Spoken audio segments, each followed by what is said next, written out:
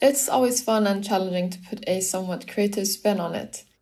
For example, let's say you want to draw a girl with a hair bun, but instead of her hair being gathered into a bun, it's instead a snail shell, and she's got little snail antennas coming out of her head.